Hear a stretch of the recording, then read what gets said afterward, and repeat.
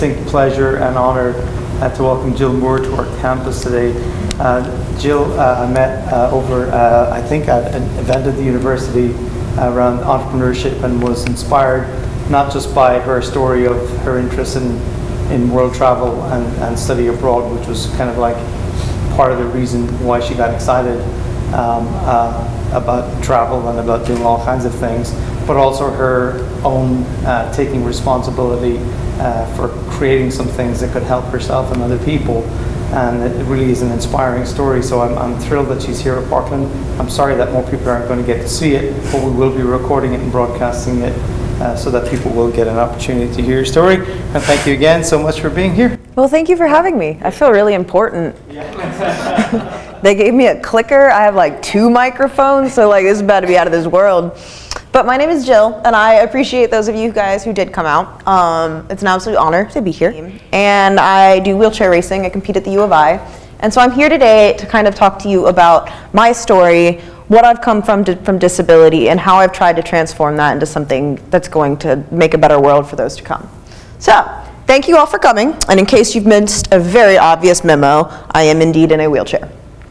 And like this is fun. Like I love being in a chair because the most ridiculous stuff happens to me, and it's just it flies. Like everyone thinks it's normal. Like I was pushing around yesterday and someone stopped me and like no hello no like how are you just like what happened to you and like that happens all the time i was at the bars once and some guy stopped me and said so what project is this for and i was like i don't know real life and so like i got like creative with this stuff and you got to come up with answers over the years and so the lady who asked me yesterday what happened to you i was like well i pissed off a magician I, I, used to tell my neighbors' kids that I babysat. They really, whenever they bothered me and they wouldn't eat, I'd tell them, when you don't eat your vegetables, this happens to you. Oh. Or too many video games. I've used that too.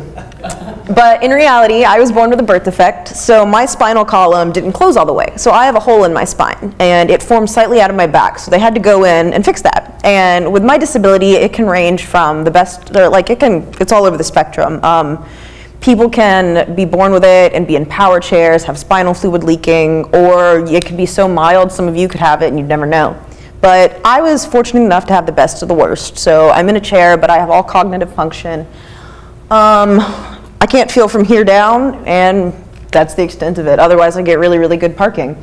But I, because of this disability, was the freaking cutest child ever. Like, I was adorable. And you may think, no, Jill, you're the cutest child, where you're so wrong, because look at my hat. But that's okay, because puberty took a toll on me. We'll get there. You'll see it. It's a terrible time in my life. But when I was not cruising around in my rocket ship with the men in my life, I was either crawling, scooting around in my little stroller, walking in a walker, and like I had a setup, man. I was like Forrest Gump over there, or on my cute little crutches. And so, I mean, as a child, when you're born with a disability like that and you are traveling differently, you're a little bit slower. And that's insanely, insanely frustrating because imagine yourself at playtime when it was very important for you to go run and be around the playground with your friends, but I couldn't do that because I couldn't keep up. And I was a child, so it was very, very frustrating to have no understanding of why this was happening to me. I was very, very different. And so that took a toll on my confidence growing up. I, I felt different, I felt like I didn't fit in. And then at my school, the only other people with disabilities there also had cognitive impairments. And so a lot of the time, I got grouped in with them. But I would get grouped in with the other kids. They were all wonderful, very, very sweet, but a lot of the time, I, I was on a, I wanted to play. I could function just like the other kids around me. And these kids had to be in a room where people helped them all day long, and I didn't need that. And so that was very, very challenging as a child because that took a toll on my confidence, that took a toll on how people interacted with me, and it was very, very frustrating. Um, so it always really was troublesome growing up because I always felt like I, I couldn't be involved. And I wanted to play with my friends, but I couldn't keep up. And so when I had the first opportunity to get involved into wheelchair sports, I didn't want to do it. I thought this is the world's way of handing me a participation trophy. I was nine years old and I thought there's no way I'm going to do this because I'm above this. I want to be normal. I want to be just like everybody else. And after a lot of convincing, and I think my parents had to actually drag me onto the plane. I was able to go to my first basketball tournament. And when I got there, we had one game, and then it was in Baltimore, Maryland. We got a meter of snow. And so like the whole city shut down. And so it was a bunch of like nine year olds in wheelchairs stuck in a hotel conference room. And being the scholars that a bunch of nine year olds are, when given really heavy, durable wheelchairs, we invented, oh, there I am again, God, I'm so cute. We invented a little game. And this game was called Ramarama. And Ramarama is very, very, very complicated, let me tell you. So, Ramarama would be one kid in one basketball chair, the other kid in another basketball chair on opposite sides of the room. You would sprint full speed and just see how hard you could run into each other. We beat the snot out of each other, and needless to say, our parents were none too thrilled with this. But Ramorama, as dumb of a game as it is, was absolutely essential in my life because that taught me something that I don't think anything else could have. It taught me that I wasn't breakable that I could fall on the floor and get run over by some other angsty nine year old and be fine. I was a strong enough person that my disability was not getting in the way of this. And so after this, um, I got involved in everything I could. I'm still going. Wow, look at me. But I got involved with a lot of sports, and I was able to do a lot of this because I have the most supportive parents in the whole wide world. They are terrible people, as in they'll leave my wheelchair at a Walmart. They've done that countless occasions. One time they left it at a Cracker Barrel and threatened to never come back for it.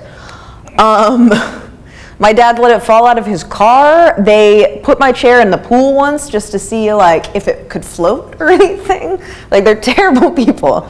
But they're also the biggest supporters in the world for me. And so they saw this opportunity to get into sports and long before I was sold on the idea, they pushed it and they wanted me involved and there they are, they're ridiculous they supported some really, really incredible things. Oh, also, terrible story. I wanted to be a cat one year for Halloween, but my mom didn't want to buy me a new costume, so she convinced me Dalmatian cats were a thing. so, um, oh, they also did that to me one year. Uh, I had an amazing community of people around me as well as my parents. This is my neighbor, and he converted a lawnmower into a go kart so I could ride it around with his kids. It was really, really cool. But uh, around the age of nine, I joined track and started going around the states. Prior to that, I'd been trying to get involved in as many things as possible. Um, it was very, very hard to do because we didn't know. There's not a lot of word around disability sport. And so I tried to get involved with a lot of things, and my wonderful parents tried everything they absolutely could. They got me in horseback riding. They had gotten me that ridiculous go-kart called the Jill Mobile, which I thought was clever. Um, they would take me rock climbing when I could. They had taken me ice skating. We saw that there. They're all very avid scuba divers. So when I was around eight, they got me in a junior scuba program, which was really cool. But none of this was active enough still. I wanted to be involved. I wanted to feel like I was actually doing a competitive sport. I wanted to feel like I was going somewhere. They also tried to get me involved in instruments, but I'm tone deaf, so that didn't work out for anybody involved. It's no. but uh, the real breaking point for me was cheerleading. Um, they stuck me in this little outfit and everything like that, and I had to shout, but I hated it because there's no smooth way to integrate a wheelchair into cheer routines. And so I would get so frustrated, I'd get embarrassed, I wanted to be the one out there playing, but I could never be that person just because I didn't know there was any way I could get out there. And so they, being the ridiculous people they are, did a 150 mile bike ride to the beach every year. And one day when I was like some obscenely young age that no one should say yes to, I asked if I could join, and they said yes. I don't know why you would do that for your like eight year old, but my parents are incredible. And so I sat on the back of my dad's bike for 150 miles telling him your mama jokes until we got to the beach. but while we were on that bike ride, we met a man who was in a wheelchair. And I had never really seen somebody in a chair doing sports before. And so he was in a hand cycle. And he was like, well, hey, you're, you're disabled and you're doing this. You should really be doing something more. And I was like, well, like what? And he invited me to that basketball tournament. And so that's how I got involved with it all. And that was my first shot at actually doing something. So from then on out, I got to travel. Uh, I'd gone to my first tournament. There's me when puberty started to get a little rough. I looked like a thumb for a very long time.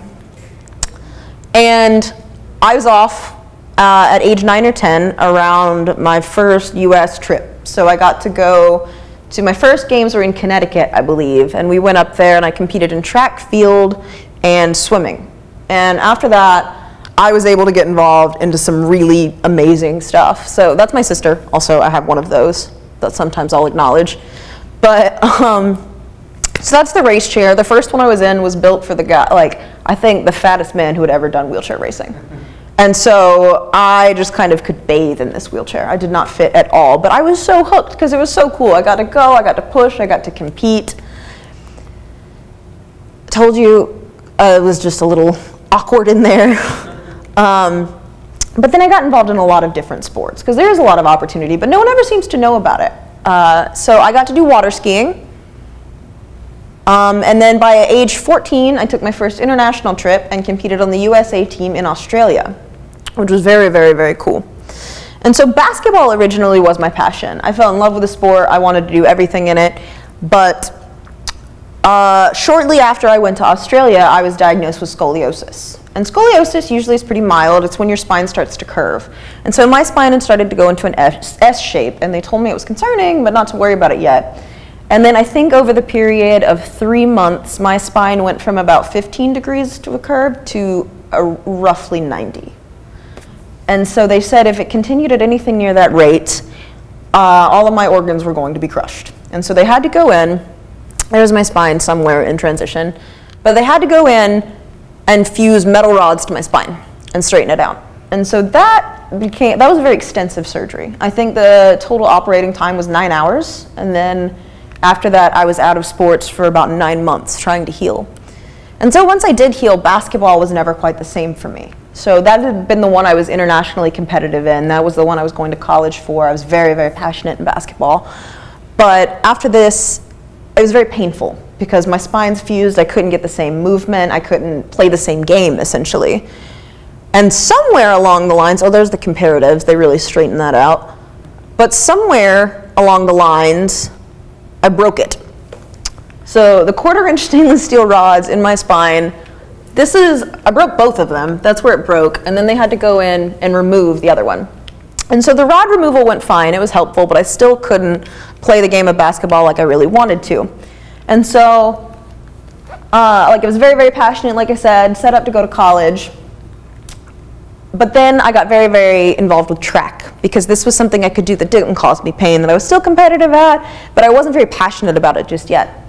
And so I joined my high school track team. Um, but the problem with that was it was illegal for me to compete and score points for my team because I had a disability. And so going into track, uh, it was kind of a scary thing because a lot of people were there telling me, you're a liability, you're unsafe, you shouldn't be on this track with these people. And so that, I mean, that's very disheartening as a teenager to hear. And I wanted to compete again and wanted to be with my friends, but I couldn't do that. And so what we had to do, me and my wonderful parents and this amazing community of people, had to go in, I'm from North Carolina, by the way, had to go in and establish a law in the state of North Carolina for people with wheelchairs to compete. And so we had a lot of adversity to that. Parents would come up to me and tell me I was not safe to compete alongside their child. I had one girl to this day, I don't know what happened, but she, right before we were about to start, her ankle was underneath my wheel. And I said, You need to move over. You're underneath my wheelchair. And she looked at me and said, Oh, and did not move. And so when I hit her ankle off the start, because I thought, you know, she should move, she did not. And her coach came to me and said that I had injured his athlete and that I had put her at risk and I shouldn't be competing.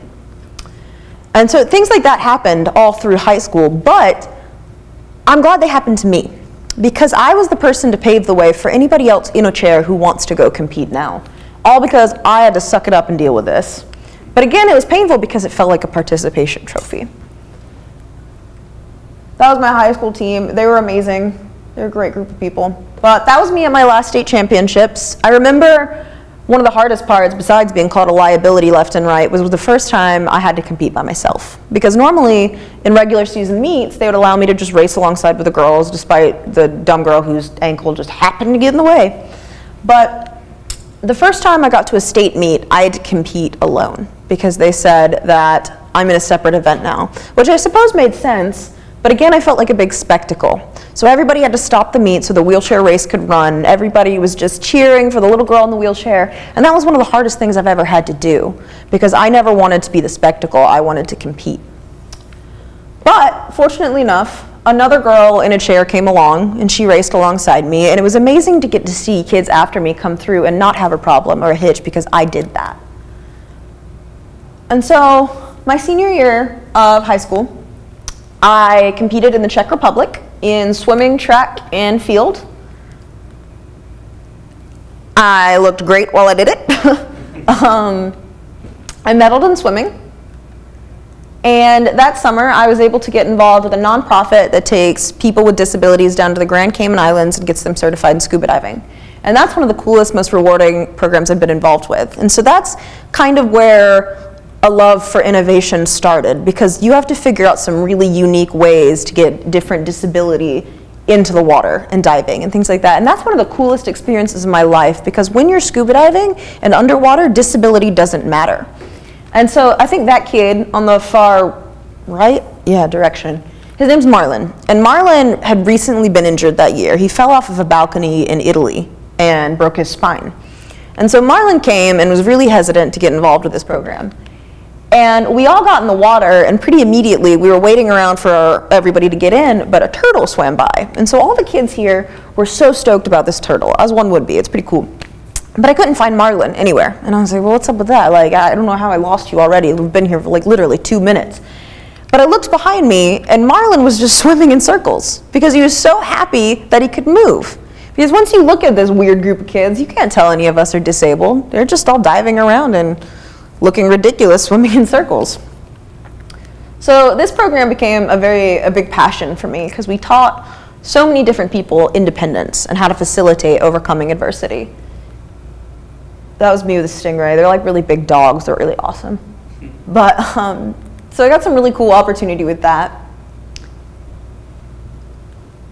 And I got to take that, like you saw in my video, I got to go to the Maldives for a week and dive there. But I signed for college and I chose U of I.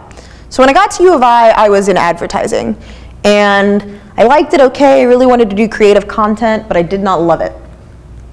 And I was also racing here, and I was racing, I had yet to reach a really competitive level yet, but I did that for a while. That was me in the Chicago Marathon. And then finally last year, I made my first Team USA event. And so I got to go to the Parapan Am Games in Toronto, back in August, and then I got to go to the World Championships in Doha. And so this year we have Rio coming up, and the qualifier for that is in July, so we won't know officially until then, but hopefully get to continue representing my country, because that's pretty dang cool. But last semester, I got to go to Singapore, as you saw, and I had some really awesome opportunities there. I got to go to Doha to compete, that was over there. And so it's just, it's very cool to see where my disability has taken me and where this overcoming adversity has gone. I got to model some couture for a local designer in Champaign, which was really cool. Uh, I got to go to London to watch the 2012 Paralympics. But one of the most impactful things for me was getting involved in design. So when I got to U of I, like I said, I was in advertising and I enjoyed it, but I wasn't super passionate about it. And I took a drawing course for non-majors. And when I got to my drawing course, there was an easel that didn't fit my wheelchair. And I'm like, that sucks, because like you want to draw. And so my teacher told me, well, why don't we just design one that could fit? And I was like, you are insane. But of course, like you can do that. And so we completely redesigned an easel and I fell in love with this idea. I was like, well, how can I use what I know and what I've been through to create something better? And so I got involved with product design. And through industrial design, I went on my study abroad program to Singapore and I got involved in medical design, which is really cool. And this is what this photo is from. Um, we were challenged with this idea of creating a tool for shoulder, shoulder dislocation surgeries. And this is what we came up with. So when you dislocate your shoulder and you fall, you get a dent in there. And if you have this dent, it makes it a lot easier for your shoulder to slip in and out of place and continue to dislocate it. And so our team was tasked, well, how can we create a surgical tool that fixes this? Because right now they don't have one. Um, when they go in and tie the sutures, it's all arthroscopic. So when they're going into your shoulder to tie it, they're doing it blindly. And so the longer they're staying in a shoulder, the more dangerous it is and creates more problems for the patient. And so our team designed a tool. And we created a tool that eliminated the problem. It eliminated the blind suturing, made the procedure a lot quicker, and our doctor really liked it. And so we were going to go through and get a patent on it, which I think is like stinking cool because I got to design a surgical tool. But um, so it was very successful. That went well, and I realized, wow, I have this massive passion for creating medical devices because I get to consider a lot of things with medical design, such as how does my disability factor in? How would somebody with a disability, a more severe disability, how would that factor in? And so I feel through all these life experiences of ridiculousness and all the ups and downs and everything like that, I've gotten some really cool perspective on how to use that to change a lot of product designs available. And so I've gotten to work with this. Um, I've gotten to work with, there's a girl at the U of I who's creating racing gloves. She's learning how to 3D print those for like a grassroots people who are learning how to push. So I've gotten to be involved with her projects. I've gotten to be involved with a lot of just disability accessories that people don't tend to think about. But like, so I really want to use the knowledge I've procured to help change these designs down the road. And so there's the rest of our system. We got to try it out on like a pig, a pig shoulder thing that we procured, I don't know where, but it worked. And so that was pretty cool. But uh, my second project while I was over there was we had to redesign a waiting room experience. And again, I got to factor in a lot of things about disability that I've learned through the years that I would never really consider.